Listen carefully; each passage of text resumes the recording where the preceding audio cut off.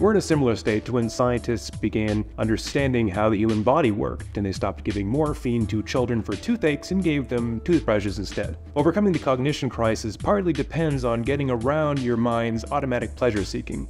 You can never keep up with all the pleasure you want to experience, and trying to will only feed an addiction that will eventually eat you alive. Here are a few ways that you can overcome the cognition crisis. 1. Website blockers. Install extensions that will block the useless websites you're most addicted to. 2. Block the data on your phone. You heard me. Go to your phone account and sign up for Data Block. Try it for a week. Don't worry, free Wi Fi is everywhere. 3. No internet in your house. That's right.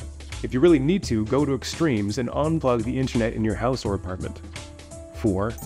Don't watch shows, or at least don't watch shows for one week. It's empty brain sugar, it's mental morphine.